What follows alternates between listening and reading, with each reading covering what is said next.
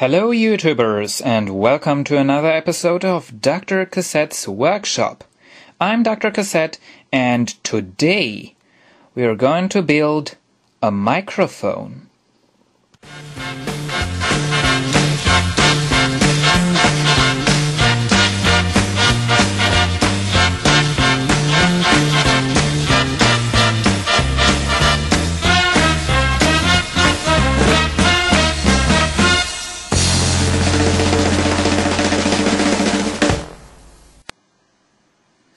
What you can see here is my computer. And of course, my computer has a microphone input. But I don't have a microphone for it. I only have the normal standard dynamic microphones, which you can use, for example, with tape recorders. But the computer wants to have an Electret condenser microphone and here I have a couple of Electret condenser microphones. I took these out of old boom boxes and cheap cassette recorders. And, well, there are um, different types, of course. Um, I have here the two main types.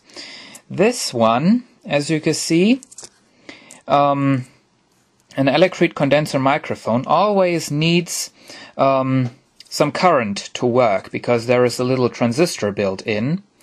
Um, and uh, so this microphone here, it has the audio and ground connection right here. It's a shielded cable. And right here it has the connection for the power. I'm not going to use this one. This um, will be for another project. I will use this one. But this one, it's different. The power uh, connection is also the signal connection. So we have two connections only, one for the ground and one for audio and power.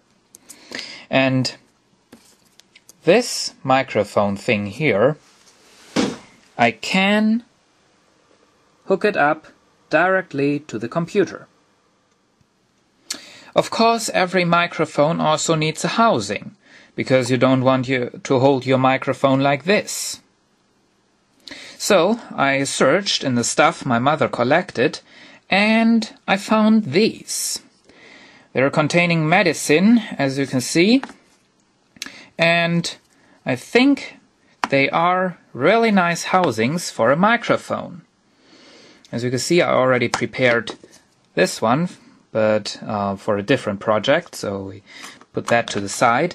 This is going to be our microphone housing.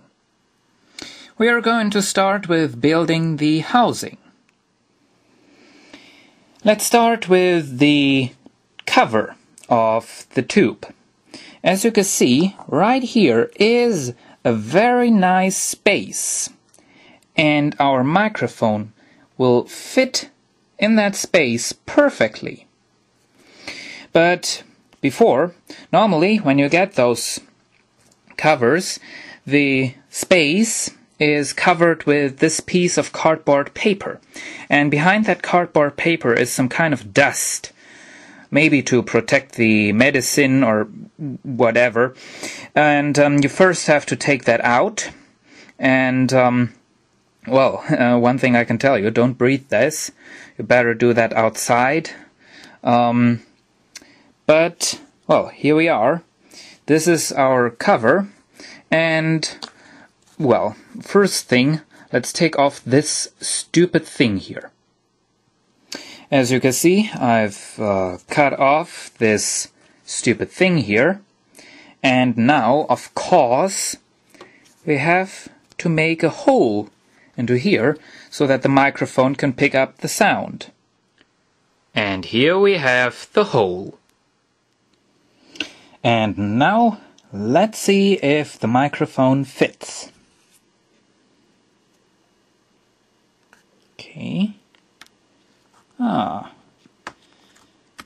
And there we go. It fits. Fits perfectly. And there you can see the top side of the microphone. Really nice. Now let's continue with the tube. Of course, we want to connect the microphone to something, so the next step will be to find a proper connection cord and to install it on the bottom part of the tube. And as you can see, I now installed the cable. As you can see, it's a stereo cable with a stereo plug on it, but that's only because I couldn't find a mono cable with a monophonic plug on there. So now we can go and connect the connection cable to the microphone. And as you see, the wire is now connected to the microphone. And now I've wound some tape around the connections so that we don't get any shortcuts. As you can see, the connection for the right channel is hooked up to nothing. It's just um, behind that tape. And um, that's because, well, we have a monophonic microphone, not a stereophonic. And now the new computer microphone is finished and we can put it together. And here it is, the Electret condenser microphone for computers. And now I'm recording with the Electret condenser microphone. And unfortunately, I'm only getting audio on the left channel, not on the right channel. So now I'll have to go and connect the right um, connection of our cable also to the microphone. I thought that wouldn't be necessary, but obviously it is. And as you can see, now both the left and the right channel are connected to the microphone. So let's try it out. And now I'm recording again, and this time it should be on both channels.